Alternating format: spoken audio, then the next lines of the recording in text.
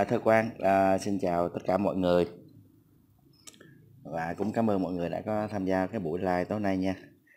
Thì um, thế này mọi người, à, à, như chúng ta tất cả ai cũng biết đúng không ạ? À, ngày 23 tháng 5 tới là ngày hội toàn dân, cả nước sẽ đi bầu cử uh, đại biểu quốc hội như hội đồng nhân dân các cấp đúng không ạ? Um, năm uh, 2021 2026 thì um, uh, chắc mọi người tham gia mạng đúng không ạ? Uh, nhân em chúng ta đã, đã từng tham gia mạng cái thời gian gần đây á. chúng ta cũng biết á, uh, những cái thế lực thù địch ở bên ngoài á, đúng không? Họ luôn ra rã họ tuyên truyền về vấn đề là với cái mục đích cuối cùng là gì? Là họ muốn đánh phá bầu cử ờ, cái cái ngày bầu cử đó của ngày hội toàn dân đó của Việt Nam. Qua rất nhiều cái chiêu bài và rất nhiều hình thức đúng không mọi người. À, và cái điển hình nhất á, à, họ bảo là không biết không bầu. Họ xúi dục những người dân thiếu hiểu biết không biết không bầu. À, rồi chưa kể là trước đó một thời gian dài họ đã chiêu trò đã cài cắm những cái đối tượng uh, ra lợi dụng vào cái cái cái luật pháp của Việt Nam có tính dân chủ thì họ lợi dụng vào cái điều đó họ đưa đẩy những cái cá nhân. Nghe những cái cá nhân đó thì chúng ta người dân chúng ta Việt, ờ, Việt Nam chúng ta cũng đã biết rồi. Xét về tư cách đạo đức và mọi mặt đều không đủ tư cách để đại biểu cho nhân dân. Nhưng mà những cá nhân đó vẫn ra gọi là gì? À, tự ứng cử đúng không à, điển hình như là trước đó là có gì à, đối tượng là Lê Trọng Hùng đặng quốc khánh gì đó đúng không ạ? À, và vài cá nhân khác nữa thì à, thân quan quên tên rồi. Uhm, rõ ràng kể cả những cá nhân đó họ cũng ý thức được rằng họ không thể nào họ họ đủ tư cách họ à, hoặc họ vượt qua vòng gọi là à, chúng ta hay nói câu là à, vòng gửi xe đó đúng không? Đó vòng gửi xe để um, để tham gia. Nhưng mà tại sao họ vẫn làm? Thì uh, mọi người cũng thấy rõ đó. Uh, tới cái, chúng ta cũng thấy rõ là lấy gì? Cái mục đích chống phá của họ chống phá bằng cách nào? Uhm, khi họ không qua được á, thì uh, lập tức là những kênh đài ở hải ngoại như VOA, BOC, BBC, RFA luôn giật những cái tiết những cái tiêu đề là à, Việt Nam mà bầu cử không có dân chủ à, bắt bớ người dân tự ra ứng cử thế này thế nọ đúng không ạ? Mà trong khi là chính những người dân Việt Nam chúng ta ở trong nước chúng ta biết được những đối tượng đó là gì những đối tượng đó là như thế nào đó. nhưng mà họ tuyên truyền để họ à, mị dân họ lừa đánh lừa những người gọi là uh, nhiều khi họ à, người dân uh, ít uh, tiếp cận thông tin ít tiếp cận thông tin đó thành ra là họ đánh vào những người đó để nhằm cái mục đích là chống phá bầu cử thì hôm nay thơ quan muốn làm cái like này để cũng muốn um, mở ra để mời mọi người lên chia sẻ về cái ánh nhìn của mình và cái công tác bầu cử của ở Việt Nam như thế nào? À, quy trình tổ chức ra sao? Có xác thực với người dân hay không? À, có tính dân chủ hay không? Và kể cả những cái tư cách đạo đức của các vị mà à, ứng cử ừ, có phù hợp hay không? Đó thì để chúng ta nói lên. Chúng ta cất lên tiếng nói của người dân chúng ta đưa ra cái sự nhìn nhận đó. À, nhìn nhận về cái cái việc là tổ chức bầu cử ở Việt Nam. Ừ. có như những luận điệu tuyên truyền chống phá ở các thế lực ở hải ngoại hay không? Đúng không ạ. Thì đó cho nên là hôm nay thơ quan muốn làm cái like này à, để mời mọi người lên chia sẻ về cái góc nhìn của mình về cái việc này và cũng là cái um, tình hình um, ở trong đất nước chúng ta. À, thơ quan xin mời khách mời à, mời bạn uh, đang mời mai hello em À, chào anh Thưa Quang ạ. Dạ, Chào anh chào Thưa em Quang, chào tất cả các bác, các anh, các chị ở trên diễn đàn ạ. Ừm, à, không biết là mấy bữa nay các bác anh các chị khi mà buổi sáng ngủ dậy có nghe thấy tiếng ờ, loa phường quen thuộc không ạ? Thông báo về tình hình cử tri, thông báo về vấn đề chuẩn bị công tác bầu cử, rồi thông báo về những cái danh sách của các ờ, vị đại biểu ra ứng cử đúng không ạ? Tự đúng rồi ứng cử. Vâng, ờ, nó trở thành một cái gì đó nó rất là thân thuộc với người dân Việt Nam cứ 5 Ừm, năm đúng một rồi, lần đấy. thân quen, đúng không ạ? Vâng, nó trở thành một cái gì đó rất là riêng biệt của Việt Nam, chúng ta cứ 5 năm một lần, thì chúng ta lại thực hiện cái quyền, ờ, công dân này. Và em nghĩ rằng là, có rất là nhiều những cái thế lực ở ngoài kia đấy, họ đang kêu gọi người dân Việt Nam, ờ, không đi bầu cử nhằm phá hoại cái bầu cử ở Việt Nam ấy. Nhưng mà khi đó thì họ lại liên tục kêu gọi rằng là đòi cái quyền, uh, dân chủ ở Việt Nam. Thế nhưng mà khi mà người dân Việt Nam thực hiện cái quyền dân chủ thì họ lại đạp bỏ cái quyền đó. Thì, uh, thật sự là những cái cái cái nhà đấu tranh này không có cái mục đích gì khác ngoài cái việc phá bỏ cái việc, uh, bầu cử của chúng ta, phá bỏ cái, uh, ờ, ngày hội toàn dân của chúng ta, nhằm mục đích đó là muốn đạp đổ cái sự lãnh đạo của Đảng và Nhà nước. Và, ừm, em còn dạo này còn gặp thêm một số cái luận điệu nói rằng là họ kêu gọi rằng những cái, ờ, tổ chức ví dụ quan sát viên thế giới vào, ờ, quan sát, ơ, chuyện kiểm phiếu và, ờ, kiểm tra lại tư cách của những cái đại biểu ra ứng cử và tự ứng cử ấy. Thì, ừ, chúng ta phải thấy rằng những cái luận điệu này thường thường nó xuất hiện liên tục dày đặc vào cái thời gian gần đây. Nó thể hiện thấy rằng là những cái âm mưu chống phá cái, ừ, bầu cử của chúng ta ngày càng càng sát đến ngày bầu cử ấy, thì những cái thế lực này họ càng giáo diết họ chuẩn bị cho những cái cái quá trình, ờ, để mà chống đối lại nhà nước, chống đối lại cái, ừ, cái, ờ, bầu cử của chúng ta ấy. Phải thấy một điều rằng là, uh, gần đây trên những cái trang mạng xã hội này, rồi là thậm chí nó đã xuất hiện ở trong cái đời sống thực tế rằng là những cái thế lực thù địch này họ đang đưa ra những cái thông mà chúng ta phải thấy rằng lòng dân của chúng ta luôn luôn vững vàng, được thể hiện rất rõ qua cái lượng cử tri của chúng thì phải thấy rằng là dù là họ có đưa ra những cái luận điệu gì đó mà nó mang tính chất, ừm, để nó, chống phá Đảng và Nhà nước, chống phá cái cái ngày hội bầu cử của chúng ta, thì người dân chúng ta vẫn luôn luôn tin tưởng vào cái sự lãnh đạo của nhà và cái sự lãnh đạo của Đảng và Nhà nước.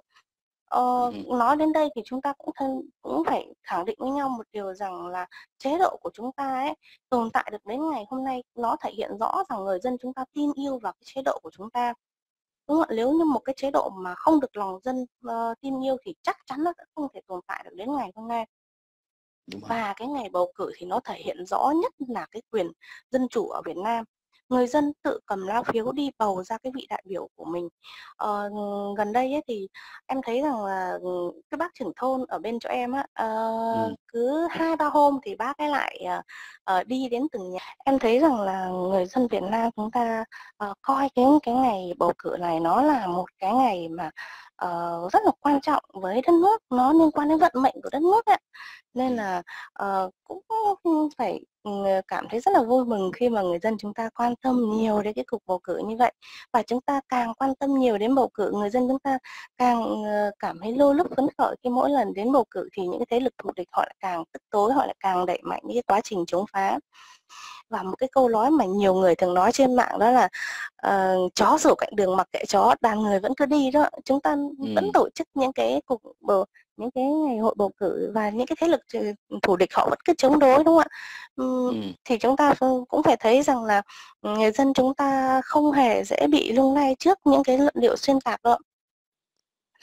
Thêm một cái vấn đề nữa đó giống là, ờ, cái vấn đề về, ừm, truyền thông ở ở trong nước ấy, thì chúng ta thấy rằng là họ không hề tác động, họ chỉ kêu gọi người dân tức là tham gia bầu cử, chứ họ không mang tính chất là tuyên truyền cho một ứng cử viên nào đó đâu ạ. Khác ở Ừm. những cái bên nước tư bản ấy, đó, đúng không? Những cái bên nước tư bản thì họ ra sức những kênh truyền thông họ quảng bá cho những cái ứng cử viên của họ. Nhưng ở Việt Nam thì sao? Toàn bộ những cái người dân họ sẽ tự đưa ra cái ý kiến của mình mà không có sự can thiệp từ bất kỳ những cái kênh thông tin nào xung quanh ạ. Đó, nó thể hiện rõ rằng người dân chúng ta không bị, ờ, những cái kênh thông tin tác động vào. Và chúng ta thấy trong cái quá trình bầu cử ấy, thì khi mà chúng ta ghi tên cái những cái người mà chúng ta bầu à, thì hoàn toàn được giữ bí mật, đúng không ạ? Để tránh cái tình trạng đó là là nó nó thể hiện rõ rằng là cái quyền của bản thân mình thì không ai được quyền biết, không ai được quyền xâm phạm và chúng ta, uh, làm chủ cái quyền đó của mình. Thêm một cái vấn đề nữa đó là hiện nay có rất là nhiều những cái thế lực ở ngoài kia họ đang rêu rao rằng là nếu như mà không có có, bầu cử, đa đảng, tam quyền phân lập thì họ kêu gọi người dân không đi bầu cử. Thì chúng ta thấy rõ rằng là, ờ, cái mục tiêu muốn đẩy cho chúng ta tam quyền phân lập ấy thì nó không phải ừ, bây giờ mới có đâu mà từ trước đến giờ nó cũng đã có rồi. Và người dân chúng ta thì cũng không bao giờ mà bị những cái thế lực thù địch này nó nó tấn công nhiều vào cái tư tưởng mà người dân chúng ta luôn luôn tin yêu vào cái sự lãnh đạo của đảng và nhà nước. Ờ, một cái câu chuyện em muốn kể cho anh Sơ Quang và mọi người ở trên uh, diễn đàn nghe đó, là cái câu Ok, chuyện về một đó là cái câu chuyện về một cái người bạn của em á. Hứ. Ờ, cái cô bạn này thì thật chính thức là cô ấy cũng có cái tư tưởng nó hơi ờ, chống đối lại ờ, đảng và nhà nước một chút. Vì thật ra là cô tiếp cận với quá nhiều những thông tin nó nó gọi là không được tốt gọi là không được sạch ở trên mạng ấy. Thì cô ấy hơn nói với em rằng là tại sao phải đi bầu cử làm gì khi mà cái cuộc bầu cử này mình chẳng có cái biết gì cả. Thì em họ Ừ. nói một câu như này này tại sao bạn lại nói rằng là bạn không biết trong khi mà tất cả mọi người người ta đều biết chúng ta luôn luôn được nghe những cái kênh thông tin những cái kênh thông tin nói về bầu cử đúng không ạ và các Ừ. xã phường luôn luôn niêm yết những cái danh sách về những người mà chúng ta sẽ bầu cử những cái đại biểu của chúng ta thì tại sao bạn lại nói rằng chúng ta không biết gì về họ đúng không đó tức là bạn tự tự từ bỏ cái quyền và nghĩa lợi Ừ. nghĩa vụ của mình đúng không ạ nói như vậy để chúng ta Đúng thấy rồi. rằng là ờ, nói như vậy để chúng ta thấy rằng là cái những cái câu chuyện như thế nó xảy ra ở trên cộng đồng mạng rất là nhiều. Vì là bác, bác anh các chị cứ thử lượn qua một số những cái diễn đàn về um, tự do đa chiều đó. Rõ ràng là họ luôn luôn rêu rằng là tôi chẳng biết gì về những cái vị đại biểu đó cả thì tại sao tôi phải đi bầu đúng không ạ?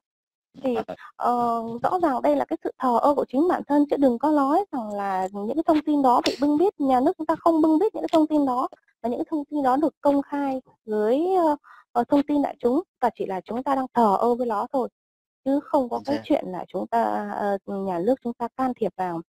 Và thêm một cái vấn đề nữa mà em muốn nói ở đây đó là người dân Việt Nam hiện nay ấy, ờ, ngoài cái cái việc mà họ tin vào cái sự lãnh đạo của đảng và nhà nước ấy, thì họ còn có một cái điểm nữa mà em nhận thấy rằng là ờ, rất là vui mừng đó là người dân chúng ta hưởng ứng cái cuộc bầu cử này á ờ, không phải chỉ riêng gì ở ờ, những cái tỉnh thành phố lớn đâu ạ mà thậm chí ở cả những cái vùng sâu vùng xa biên giới hải đảo đấy rồi là kể cả những cái vùng đồng bào dân tộc ít người đấy anh Thơ. Quang có coi ở cái cái clip ở đầu đó đó là những cái người Có, dân có, tộc họ rồi. Không có không có nói được tiếng kinh á nhưng mà Ừ. họ cũng rất là quan tâm đúng không bởi vì chúng ta Đúng rồi. có những cái người mà chúng ta dịch ra tiếng dân tộc của họ để cho họ hiểu họ biết tức là họ không hề ở ngoài lề trong cái cái khối hội đại đoàn kết của chúng ta đúng không họ Đúng rồi. luôn luôn được biết họ luôn luôn được uh, thấu hiểu những cái vấn đề của đất nước.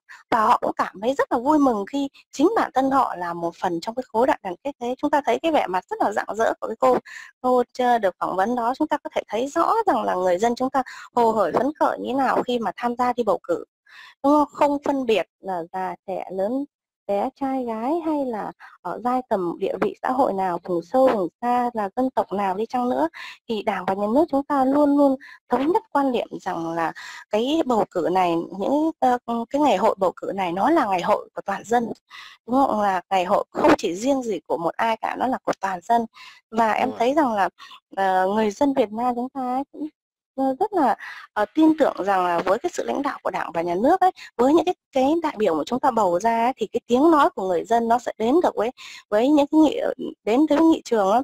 và cái tiếng nói của người dân nó sẽ được vị bộ trưởng những cái vị lãnh đạo cấp cao họ lắng nghe và họ đáp ứng họ giải quyết những cái vấn đề ừ, phát sinh trong cái quá trình phát triển của đất nước đúng không ạ Đúng rồi.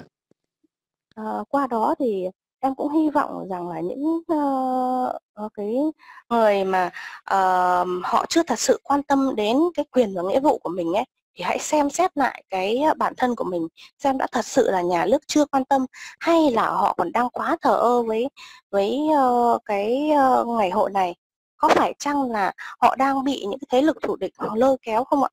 Bởi vì có rất nhiều người họ vô tình họ nghe theo những cái cái giọng điệu tuyên truyền ở trên mạng xã hội dày đặc hiện nay ấy, nhất là những cái ngày gần bầu cử này ấy và nhiều khi cái ý chí của họ bị lung lay.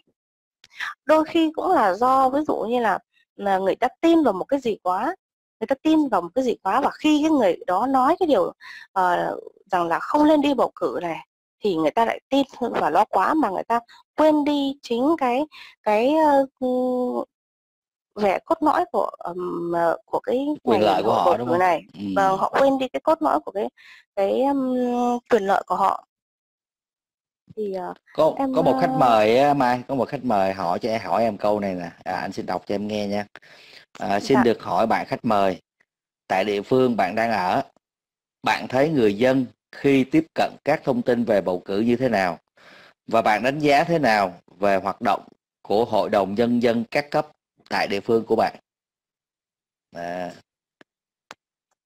khách mời này có bộ hâm mộ mai lắm à.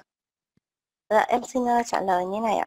Ờ, ừ. Về cái việc mà người dân tiếp cận về thông tin ở trong uh, khu nhà em á, về ừ. về cái ngày bầu cử này ấy, thì như em đã nói rằng là uh, sáng ngày ra thì uh, liên tục được uh, uh, nghe những cái thông tin về bầu cử ở trên loa phường này rồi là những cái bác trưởng thôn uh, những cái bác trưởng thôn rồi trưởng khu đấy tổ dân phố đấy họ đến từng gia đình để họ đưa những cái danh sách niêm yết về những cái uh, vị đại biểu quốc hội của chúng ta những cái người mà chúng ta sẽ bầu. Và em thấy rằng cái hội đồng nhân dân các cấp ở hội đồng nhân dân ở địa phương của em họ hoạt động rất là hiệu quả.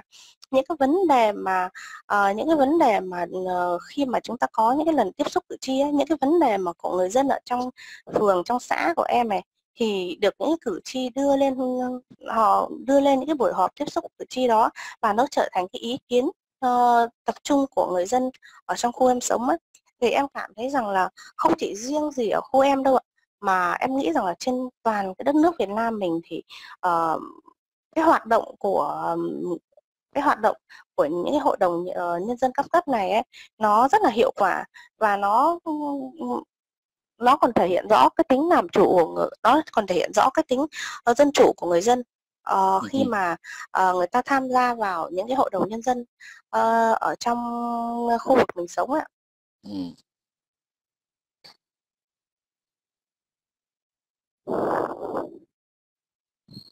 Xin mời em tiếp tục ạ.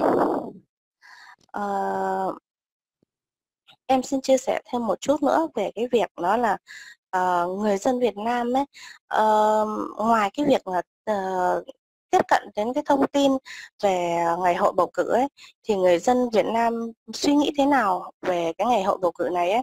Thì đây là một vài cái câu hỏi của em mà khi em hỏi những người xung quanh em ấy ở như những cái bác hàng xóm em này rồi là những cái bạn mà làm cùng với công ty của em ấy thì ừ. khi em hỏi rằng là um, bạn này và bác này nghĩ rằng là uh, bản thân bạn và bác có đi bầu cử không thì họ nói phải đi chứ ngày hội ngày hội của mình mà đây là cái quyền công dân của mình mà mình phải đi chứ đúng không? Và khi đúng em rồi. hỏi rằng là uh, bác nghĩ thế nào về những cái ứng cử viên được đưa ra để trở thành đại biểu quốc hội thì em thấy rằng họ rất là phấn khởi khi mà họ rất là hồ hởi họ nói về những cái cái ứng cử viên đó dường như là họ đã nghiên cứu rất là rõ về những cái cái người đó đúng không ạ đó ừ. thì uh, em qua cái những cái câu hỏi đơn giản như thế thôi thì chúng ta có thể thấy rằng là uh, những cái người dân cho dù là rất là bình thường chỉ làm những cái công việc hàng ngày như là những người nông dân này rồi những người làm trong cùng công ty với em ấy rồi bạn bè quanh em ấy thì người ta đều hiểu rõ về cái ngày hội toàn dân này và người ta đều có những cái uh, tư tưởng um, rất là uh, quan tâm đến cái ngày hội bầu cử này đó là một vài cái cảm nhận của em về cái ngày bầu cử ấy và nhất là những yeah. Dạ. người thế hệ trẻ như chúng em ấy thì lại càng cảm thấy uh, quan tâm hơn cái ngày bầu cử này vì uh, nó thể nó nó là cái cách mà bản thân em cảm thấy rằng cái tiếng nói của mình được lắng nghe ấy mình được quyền chọn cái người có tâm chọn cái người có tầm tham gia vào quốc hội thì em cảm thấy rất là ừ, vui ấy vì là cái ừ. tiếng nói đây là cái cách mà mình thể hiện cái tiếng nói của mình đúng, không ạ đây là cái cách mà mình thể hiện cái cái uh, sự lựa chọn của mình. Và khi mà cái sự lựa chọn của mình được lắng nghe đấy thì uh, cái, cái cái những cái điều mà mình đưa ra ở những cái ngày hội tiếp xúc cử tri ấy nó sẽ được đưa lên trên các bác ở trên nhà nước cao hơn để các bác có thể lắng nghe tâm tư hiểu những cái gì mà uh, những cái thế hệ trẻ như bọn em đang cần và uh, đang suy nghĩ. Đúng rồi. Vâng uh, thì uh, em xin kết thúc cái phần chia sẻ của mình